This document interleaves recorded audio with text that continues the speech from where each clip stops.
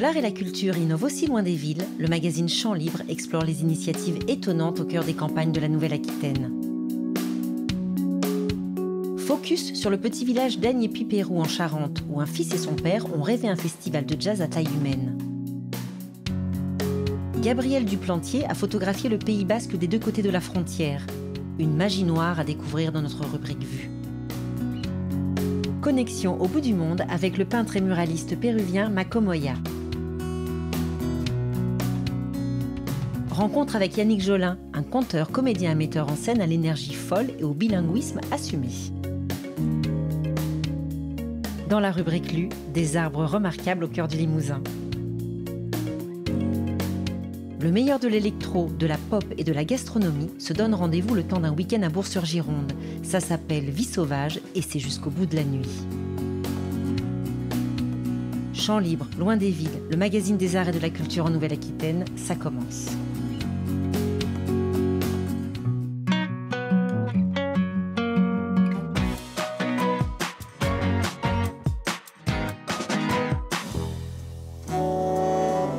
Dans une ancienne abbaye devenue maison rurale familiale, un fils et son père ont créé un festival de jazz.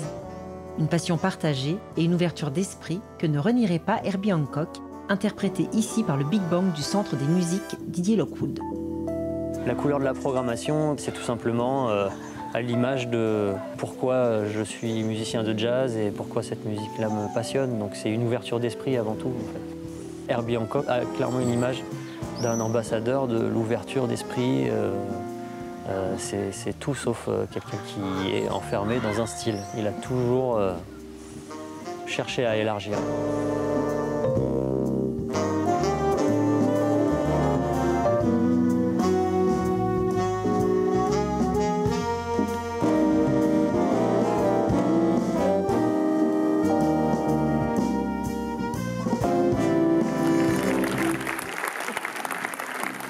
Contrairement à beaucoup de festivals qui sont plutôt urbains, nous, alors vraiment, on ne peut pas faire plus perdu à la campagne. L'idée nous en est venue avec euh, mon fils. Depuis longtemps, euh, on fantasmait sur le fait de faire un festival et, puis on est tombé sur ce, sur ce lieu. Moi, je suis musicien, donc je tourne un peu partout en France et à l'étranger. Et puis forcément, ben, euh, j'avais une vision de, quel genre d'endroit, quel genre de, manifestation euh, je, rêverais de rencontrer. Et puis à un moment donné, il y a eu un déclencheur. Euh, mon père qui a trouvé un site incroyable et ça a déclenché l'aventure. On s'approche doucement des 1000 spectateurs sur trois jours. Et c'est une jauge qui nous correspond bien aussi. si on avait une jauge de 40 000 personnes, artistiquement, ce serait plus compliqué à gérer. On aurait un poids sur les épaules énorme. Donc euh, on a envie de grandir, mais on est attaché aussi euh, à, la taille humaine du festival. Ça, c'est un truc qu'on voudra jamais perdre. Si le jazz est omniprésent, les deux passionnés font parfois des pas de côté, comme avec une chorale de 80 jeunes pour un programme 100% Queen et un hommage à son leader charismatique, Freddie Mercury. Alors le projet, c'est de faire se réunir des élèves de 3e avec des élèves de lycée pour qu'ils sachent que la musique continue au lycée. Il y a des collèges et lycées de Poitiers, collèges et lycées d'Angoulême et le collège de La Rochefoucauld. Et le répertoire de Queen, bah, c'est parce qu'on aimait bien nous-mêmes et on a demandé voilà, d'avoir une, adaptation de 10 euh, chansons de Queen. J'aime énormément le style musical, euh, le personnage qu'il incarne. Euh, puis même dans sa vie personnelle, il y a des choses tellement émouvantes. Euh, c'est beaucoup de choses. Et on aime, moi en tout cas, j'aime beaucoup tout cet univers-là du rock britannique.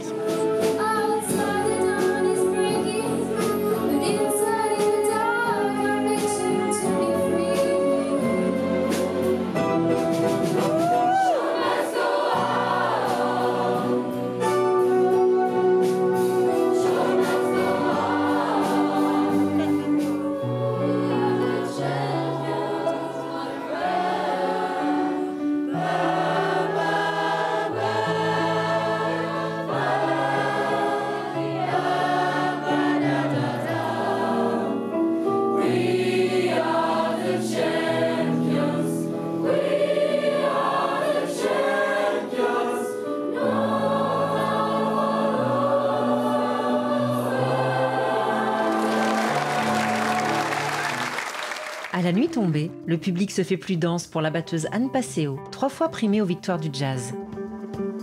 La musique est super, c'est des amis, ils sont reconnus. C'est difficile de résister quand même, ça fait beaucoup. Pierre Perchaud, je le connais depuis euh, très longtemps. Euh, je pense que je devais avoir 19 ans et, euh, et, ça a été tout de suite un coup de cœur musical et humain.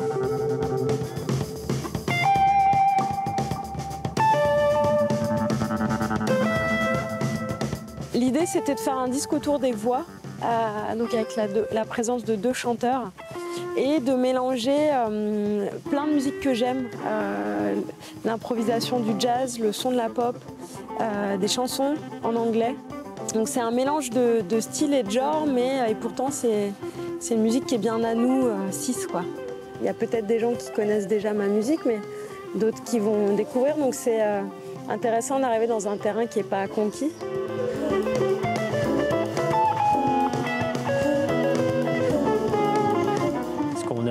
C'est vraiment que les gens euh, viennent par curiosité, et puis se fassent cueillir et reviennent.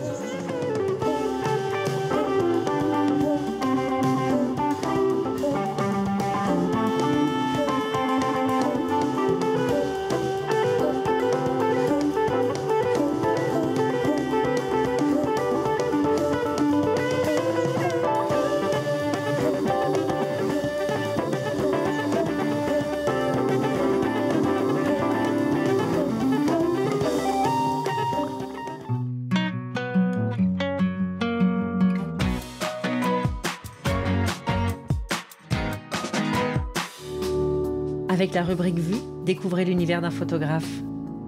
Gabrielle Duplantier a grandi dans les Landes, près de Bayonne.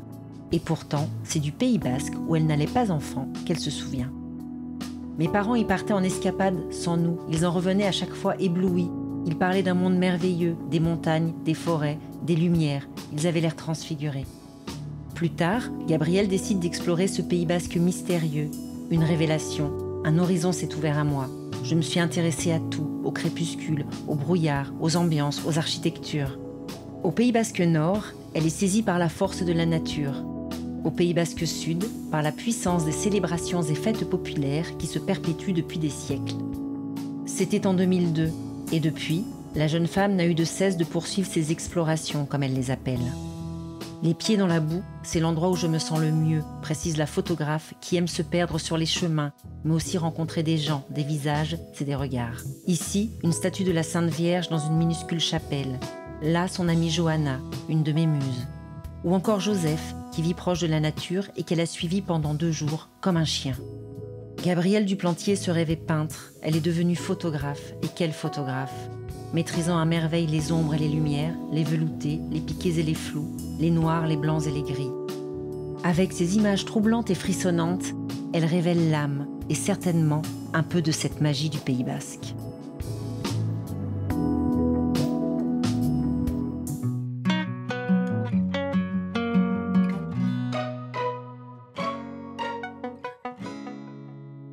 Et si les fermes creusoises se transformaient en toiles géantes? Connexion immédiate avec Macomoya, peintre muraliste péruvien. La vision de la France, on pensait que c'était plutôt un grand pays, plutôt urbanisé. On dirait plutôt comme, je sais pas, comme New York, comme les images de Paris, comme Tokyo, c'est pas le futur. C'est incroyable la quantité de, forêts et d'espaces de, naturels qu'il y a en, France en fait. Euh, j'ai commencé à travailler comme muraliste de, de, tout jeune, 20 ans, euh, au Pérou aussi. Et quand j'ai venu ici, bon, j'ai essayé de développer ça ici dans, l'espace rural, en fait, dans la campagne. Parce qu'on habite ici au milieu de la campagne. Ça, petit à petit, a, me permis de travailler des projets de street art. Je trouve que c'est vraiment ramener l'art à tout le monde. Non? En parlant de de matières. C'est très intéressant. Chaque mur, il a plein de matières, plein de... C'est un support vraiment euh, docile, on dirait, et agréable à travailler. Je, suis toujours libre. La contrainte, surtout, c'est de, de, que ce soit créatif, de que j'ai la liberté et, toute la, la, confiance pour y aller où je veux, en fait.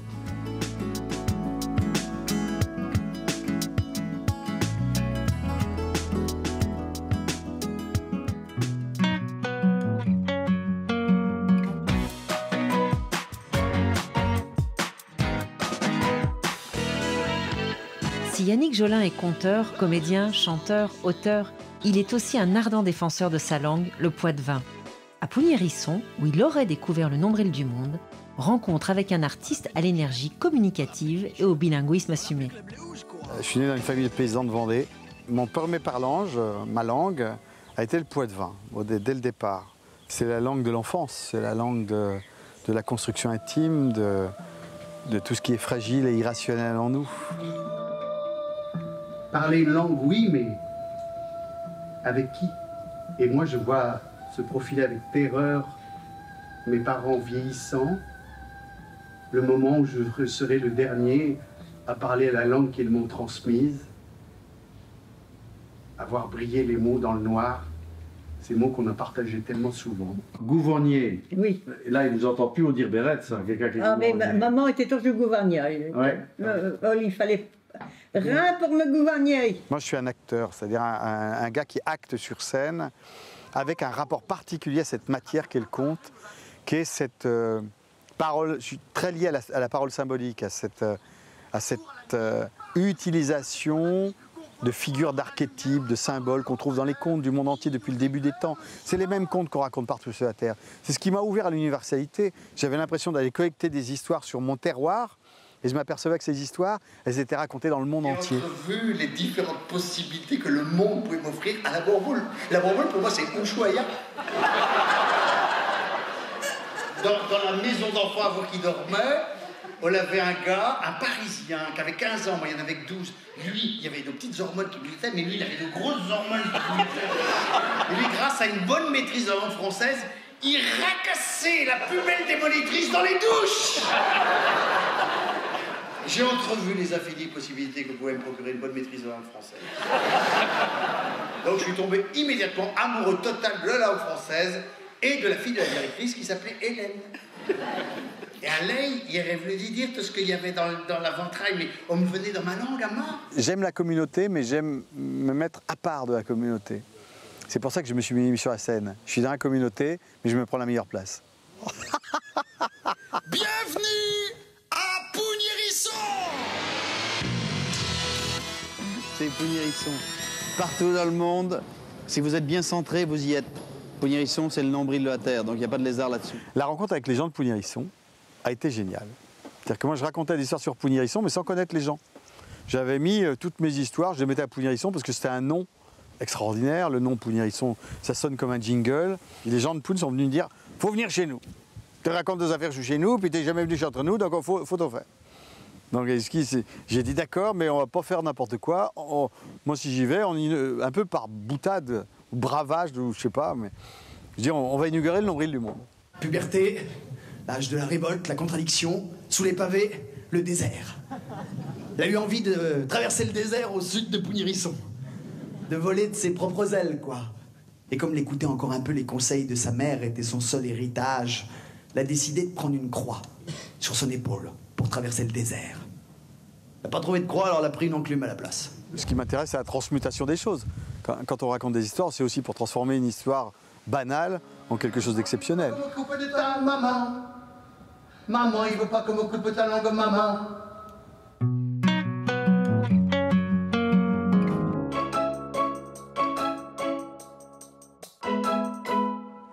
De nos jours, l'arbre est souvent exclu des préoccupations du quotidien. Autrefois au cœur des pratiques rurales, pour ses fruits, son bois, sa feuille, il est devenu au fil du temps un agrément urbain. En 1970, Georges Pompidou, président de la République, s'émouvait, dans une lettre à son Premier ministre, de l'abattage systématique des arbres de bord de route. La sauvegarde des arbres plantés au bord des routes est essentielle pour la beauté de notre pays, pour la protection de la nature, pour la sauvegarde d'un milieu humain. La vie moderne, dans son cadre de béton, de bitume et de néon, créera de plus en plus chez tous un besoin d'évasion, de nature et de beauté.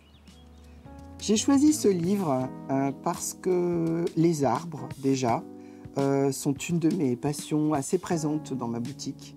Donc euh, ce livre parle, présente 50 arbres parmi plus de 1000 arbres qui étaient recensés comme extraordinaires en Limousin. Par exemple, le chêne de l'Anglais sur la commune de Sarroux, un grand chêne très majestueux d'environ 600 ans, au pied duquel on a retrouvé une urne avec des cendres, probablement d'un soldat anglais, donc on l'appelle le chêne des Anglais. Beaucoup de ces arbres sont sur des jardins privés, sont sur des lieux privés. En revanche, on peut aller les visiter, il faut demander, il faut être évidemment respectueux des lieux, euh, mais on peut se permettre de les rechercher. Ils sont localisés, ils sont dessinés, ils sont pris en photo, photographiés effectivement, et euh, on les présente un peu comme des personnages. Ce livre s'adresse à tous les publics, tous les publics euh, amoureux de la nature, euh, tous les publics désireux d'apprendre. Ce livre nous montre aussi combien les arbres sont à la fois essentiels et en même temps fragiles. Ils ont besoin de nous, il faut absolument qu'on les défende. C'est d'ailleurs ce qui se passe beaucoup aujourd'hui actuellement en Corrèze.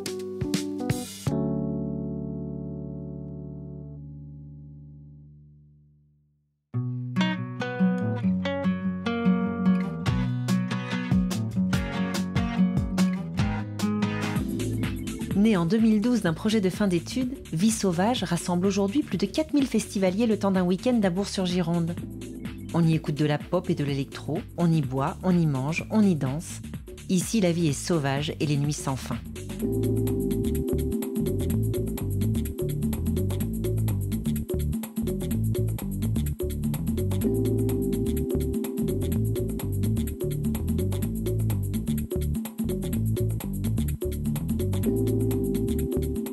Sauvage, c'est apparu assez, euh, assez vite finalement, parce que vous avez la vie, enfin les valeurs qu'on communique, c'est-à-dire bien manger, bien boire, euh, bien écouter et être dans, dans un beau cadre, ça c'est la vie. Et puis le sauvage, ça nous, ça nous parlait aussi parce qu'on est, à la fois on est proche de Bordeaux, mais on en est loin aussi, et donc ça dépayse.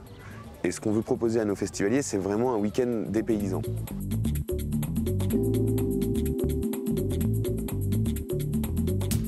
La chance qu'on a déjà, c'est le cadre.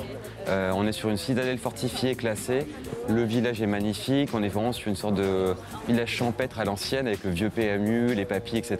Et après, on va dire que l'alliance fooding, culture, patrimoine fait un mix qui fait que on n'est pas sur la ventrée saucisse avec la tête d'affiche et la bière à 8 euros qui n'est pas fraîche. Les gens qui ont, qui ont créé ce festival respectent ce territoire et pour certains vivent ici. Et en ce sens-là, il y a une sorte d'osmose pour moi entre, la terre sur laquelle on se trouve et puis euh, la programmation musicale. Et moi j'aime beaucoup faire la comparaison entre le vin et la musique parce que je trouve que c'est quelque chose de très similaire. Cette espèce d'orfèvrerie de la terre, on peut le retrouver dans la programmation musicale qui est de qualité. Donc euh, vin de qualité, musique de qualité, public de qualité forcément.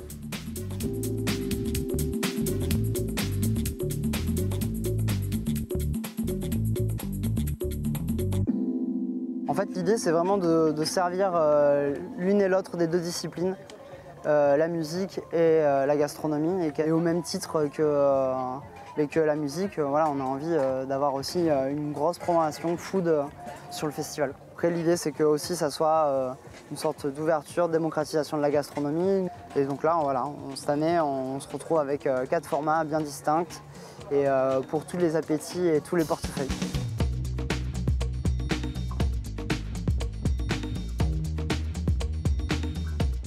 C'est vrai, quand on m'a proposé de faire le banquet du midi samedi, où on a Marc Révillé le soir, j'ai dit, ah, je signe tout de suite. Et euh, ouais, non, je, pense que la prog va être plutôt, euh, plutôt lourde euh, pour toute la journée qui va arriver. C'est un vrai plaisir de pouvoir en profiter. Sur le banquet aujourd'hui, on vous propose quelque chose d'assez particulier. On garde euh, nos habitudes, travailler une, cuisine métissée hein, entre l'Asie et euh, les produits locaux. Donc on retrouvera euh, en entrée un tarama. Tarama c'est classique, mais qu'on vient twister en mode japonais. On poursuivra avec un maigre de ligne, lui cuit en feuilles de bananier, mariné avec une, une crevette séchée. Donc euh, une belle infusion de toute une nuit pour, euh, terminer sur le barbecue. Euh, poursuivre un canard local. Ce canard local, lui, est euh, cuit juste sur le coffre, la partie euh, sur le barbecue. Hein, laqué euh, d'un miel de gingembre. On poursuivra avec la cuisse qui est le en adobo, donc une, technique euh, phili- philippine. Euh, ça va être un petit plaisir. On termine sur l'abricot au dessert, abricot glacé, rôti, grillé. Voilà, ça va être un, petit menu assez, euh, assez fun à proposer en mode camping. Donc c'est là où on prend du plaisir parce que justement on casse un peu les codes et on sort de nos habitudes de cuisine. Euh, C'est vachement, vachement intéressant. Venue à ce banquet parce que c'est un événement un peu incontournable du festival. Parce que c'est autant de la musique que la gastronomie et le banquet chef là est quand même, euh, est quand même un événement super sympa. On peut retrouver les copains et goûter un peu euh, tous les produits euh, et découvrir des saveurs un peu différentes. J'espère qu'on vous a régalé, que vous tiendrez jusqu'à ce soir. Parce qu'après, il y, a- de l'américain et tout. Bon, c'est top. Et les vins vous ont plu aussi? À tous? Là, c'est top. Merci beaucoup. Amusez-vous bien. Allez, profitez bien de votre festival.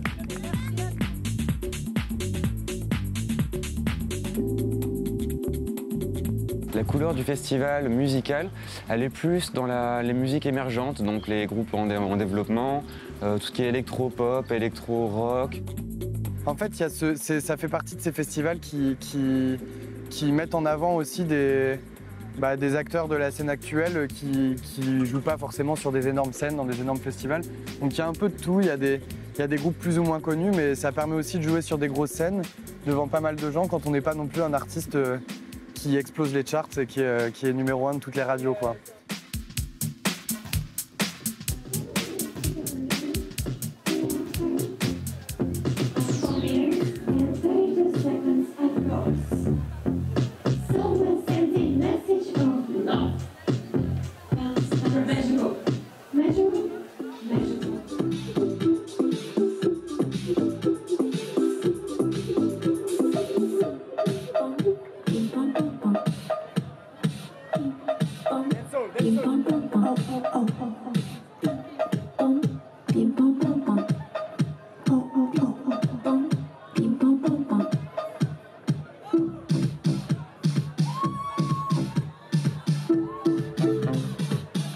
Notre but, c'est vraiment d'avoir des découvertes, euh, des coups de cœur tous les soirs, euh, d'avoir des locomotives comme tout le monde, mais qui sont quand même des locomotives à taille humaine, comme Flavien Berger, Vendredi sur mer, Marc Rebillet. Et on met aussi euh, le côté très festif de fin de soirée, parce qu'on adore faire la fête aussi.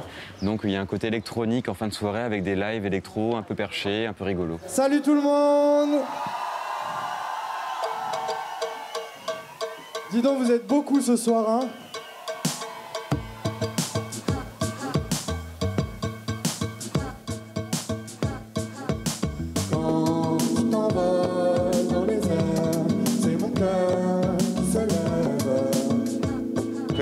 Au rendez-vous.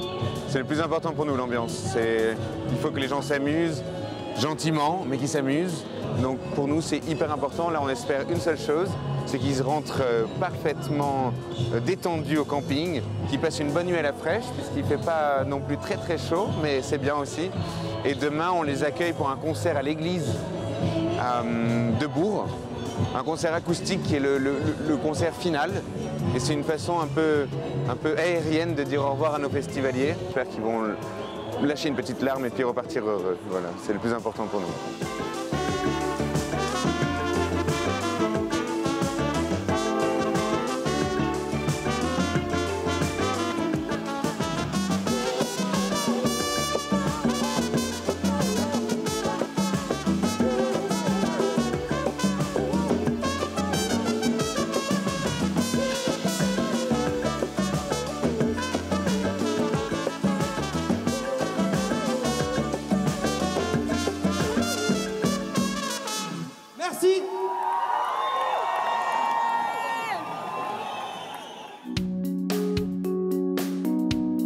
Prochain numéro de Chant Libre, focus sur le jeune et prometteur Festival international de guitare en Béarn. Depuis son ULM, Yannick Lavigne photographie l'emprise de l'homme sur la nature, à découvrir dans notre rubrique Vue. À Contis, des nanofilms brésiliens nous emmènent au bout du monde. Rencontre en Haute-Vienne avec la plasticienne Clorinde Coranotto et son drôle de camion itinérant. Dans la rubrique Lu, Isla Nova, un thriller écolo sur l'île d'Oléron.